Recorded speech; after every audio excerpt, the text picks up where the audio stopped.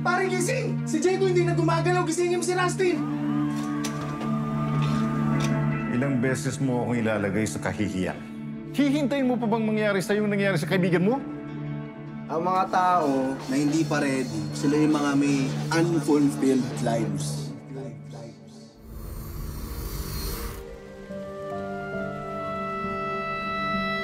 Tourist? I used to work and live here years back. Let me help you with that, sir. Pinoy! Si Yumi, pamangking ko pala. Yung totoong daddy ni Yumi, adik, gago, ng kwentang tao. Vok, na-overheard ko na kailangan mo ng bantay para kay Yumi. Kailangan ko rin talaga ng racket. Can I share you a secret? My dream is to become a singer. Straight, then go.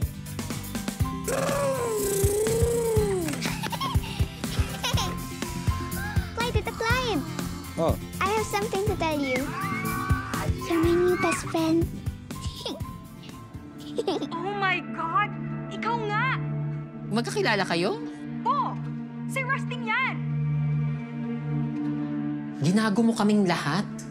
Pinagmukha mo kaming tanga.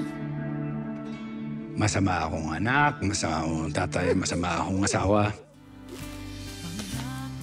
You know what, Yumi? Someday, you'll be hearing a lot of nasty and bad things about me. But I hope that you'll always remember our happy days. Promise mo that you'll never forget me.